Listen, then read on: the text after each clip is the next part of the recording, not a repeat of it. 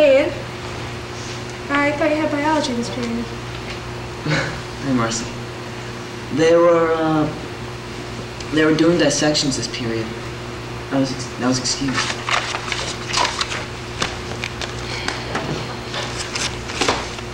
Thanks. So, what are they dissecting? Frogs, I think. Soon enough, that kind of thing. Excuse me? I started the new piece on the new drama club. Good. Good. We'll need that. Uh, by the end of the week. Yeah. I also think that right now would be a really good time to go interview the director, so I'm gonna go, okay? Okay. Bye.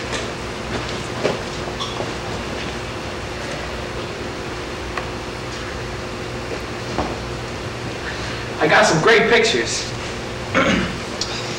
but I, uh, still can't unload this camera. All right.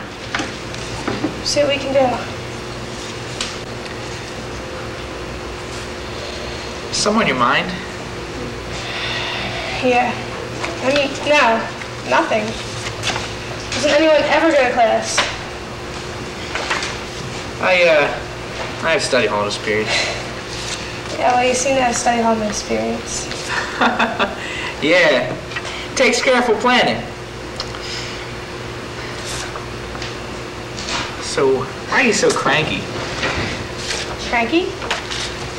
No, I'm not cranky. I'm just busy. Yeah, sure.